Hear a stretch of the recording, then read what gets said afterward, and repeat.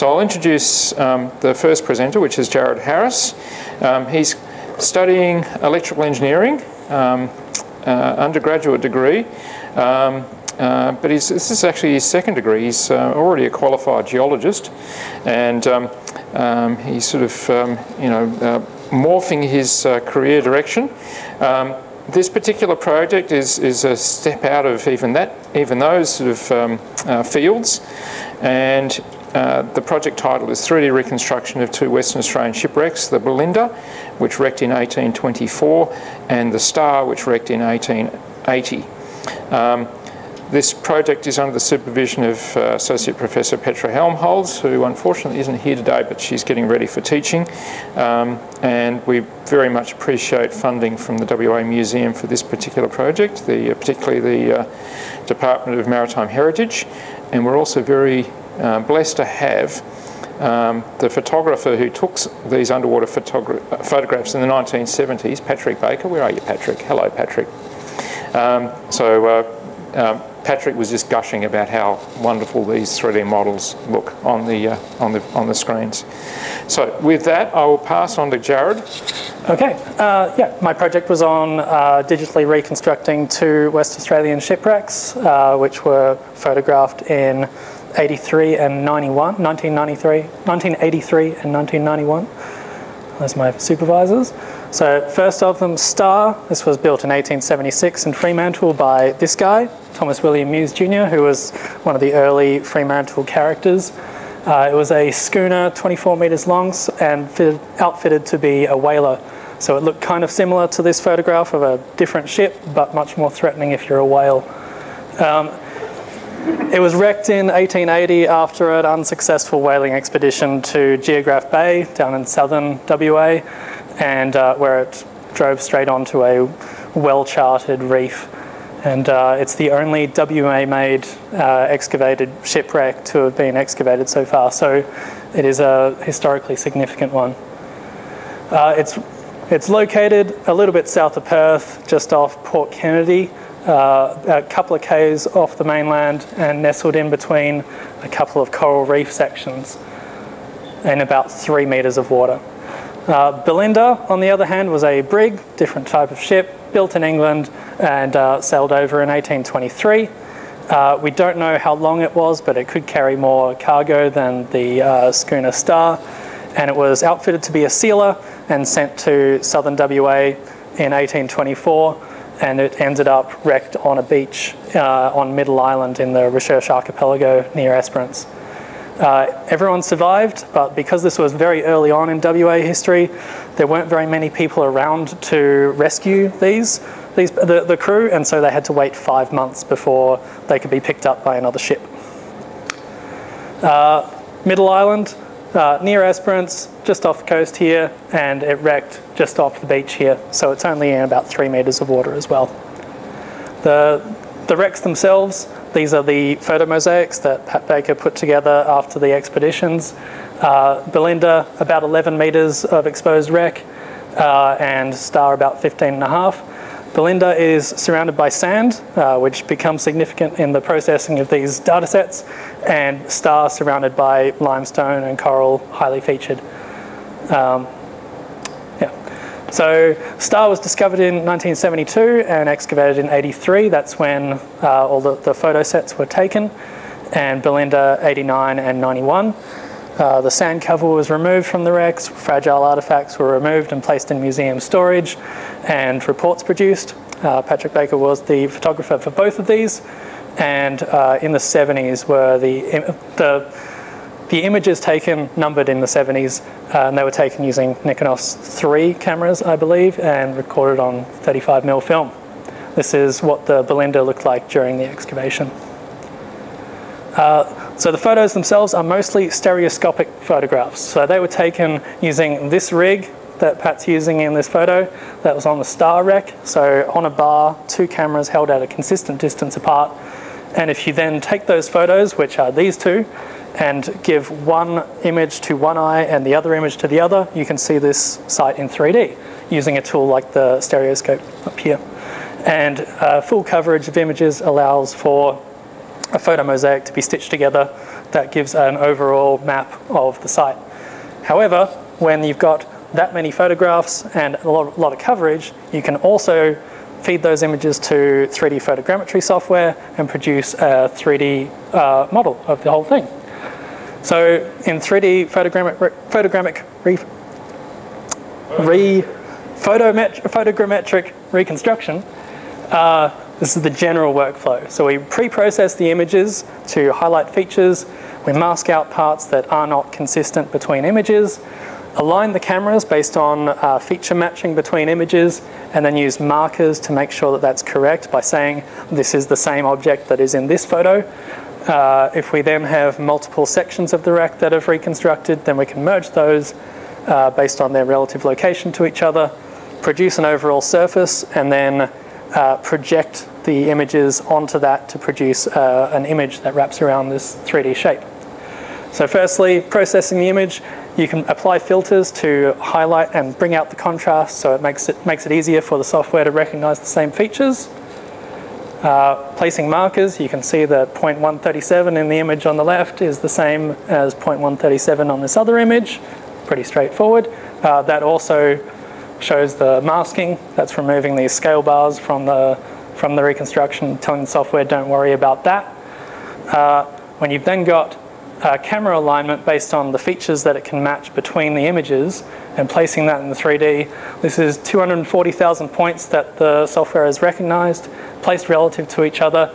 These are all the camera locations and a thumbnail for each of the images. So on Star in particular, this worked essentially unguided.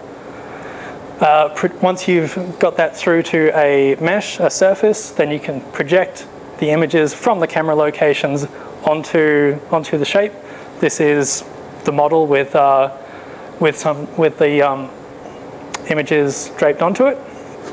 Uh, and it, that can be done at a variety of textures. Star, we put four 8K textures, which is a lot of pixels, but it should be apparent when you have a look at it on the, on the big cylinder screen that that was worth it. Uh, was that? Yep. Uh, we can then scale it uh, because each of the photos included this, a scale box that is one meter between the inside edges of the box. And so we can say, here's point 13 and 14, that is a consistent distance that's one meter apart. We can do the same with point 15 and 16 and a variety of other places along the wreck.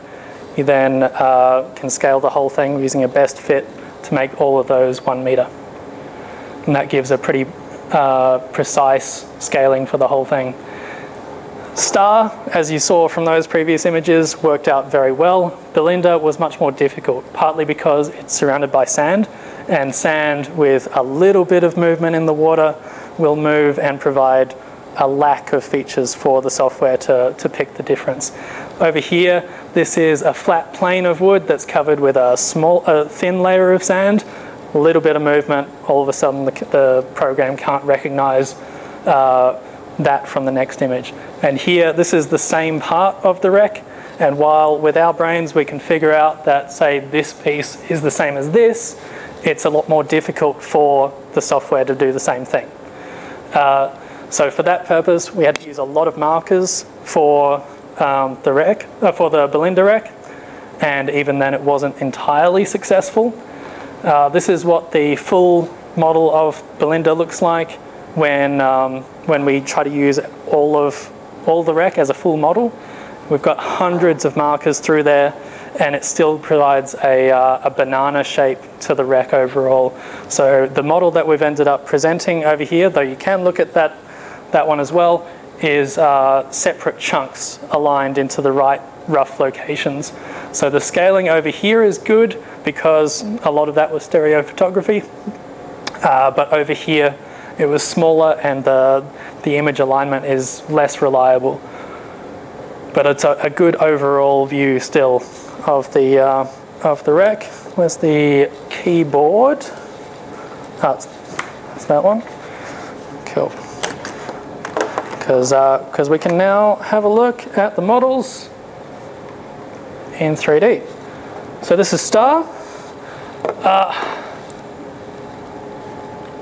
overall, you can see, so uh, general directions, the bow is on the left and the stern is on the right in this view, and this this piece of wood here is the keelson. This runs down the inside center of the ship. So, so these are the two racks. Um, so we'll have a look at the star first.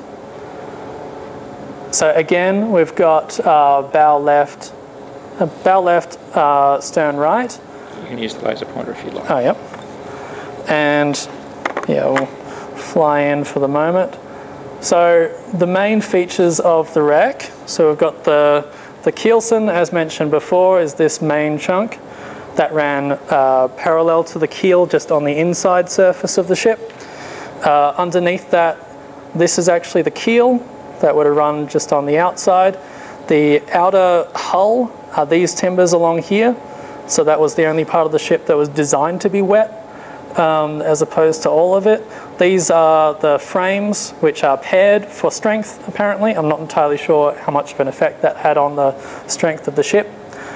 Um, and the inner hull frame. So this is where all of the cargo would have been would have been sitting in the ship. Uh, if you have a look over here, this thing, this bent shape running roughly this orientation, this is a iron knee. So this would have been attached on the inside surface of, of the hull and supporting the deck on top of it. So that, that part, um, there's several of them. There are, I believe, three or four in the wreck, and there's one, another one here. Um, so yeah, that's the, those are the main features of the rack. Uh, there are plenty of other details that I'm sure someone who's not a geologist slash half trained electrical engineer would be able to point out, uh, but we'll hopefully get a bit of input during the, during the demonstration. The Belinda model over here, uh, again, we've also got frames running along. These are not paired, unlike with Star. They are on the same scale, by the way. Uh, we've got the outer hull framing, hull, um, hull planks on, on the bottom here, and that, that runs the entire section of the wreck. Uh, the inner hull planking, this surface here, also here, and we've got uh, sand, concretion, and some ballast stones that cover the rest of this. As you can see, it is uh, in parts. It's not the best possible form for, for the wreck model to be in, but, uh, but that's the, the best result that we've ended up with, and it's still an overall good representation of, of the wreck. Um, yeah, um, now I'm trying to think of what I had on the next slides, but we're pretty close to that. Excellent, that's perfectly timed. Um, in terms of in terms of further work, this is definitely something that can be improved on the Belinda model.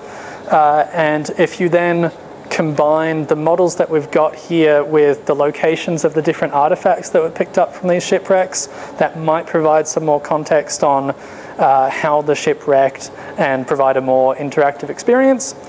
Um, the, the models have been provided to the WA Museum and they're also uh, available online. Oh, this, is, this is what the iron knees look like in a ship that is not wrecked. Uh, the version that we've got would have had the iron extending in this direction underneath those, those supports. Uh, Belinda features. So afterwards in the demonstration, we'll be uh, showing the wrecks on both the cylinder display, the amazing 3 a 3D version of what you just saw, which is even better, I promise, uh, and also on the Tilt 5 table, which is going to be on the center there. Uh, that allows for viewing the models on a tabletop. Up to three people can view it at the same time. Um, and yeah, they're also uploaded to Sketchfab. And we did do VR versions, but that's just too many things to run all in one thing, so we're not going to do that today. Uh, already mentioned some further work. Uh, there's more wrecks to process. Um, so the, the learnings regarding uh, how difficult the setting makes the processing of these, these uh, models is hopefully going to inform that. Uh, but there's only so much that you can do. The to provide some context, there were a couple of days out of that eight day expedition to the Belinda that were completely knocked out because literally over a ton of seaweed washed over the wreck. So I'm amazed that we've got the image uh, coverage that we do have on that wreck. Uh, and yeah, I'd like to thank my supervisors, Andrew Ross, who can't be here, but he was WA Museum contact, and Petra from uh, the School of Spatial Sciences, um, and Daniel, who helped me through many uh, issues using the software to process this. And uh, Patrick, thank you very much for taking these photos, amazing data sets to work with. it was funded through the uh, Underwater Cultural Heritage Program through the WA Museum. And this is a seal over the wreck of Belinda, the sealing, uh, sealing ship. And uh, one has clearly outlasted the other. So thank you.